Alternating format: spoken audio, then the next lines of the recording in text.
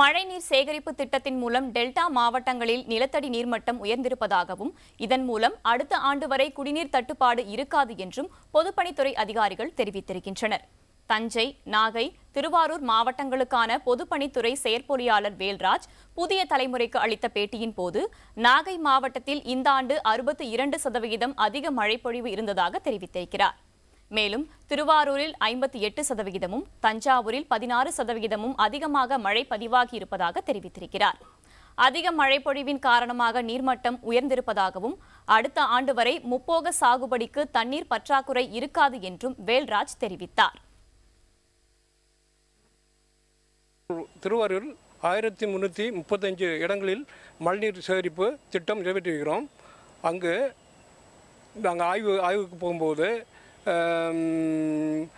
எல்லா அனைத்தும் எல்லா கிணறுகள்லேயும் வந்து முழு அளவில் வந்து தண்ணி உள்ளது.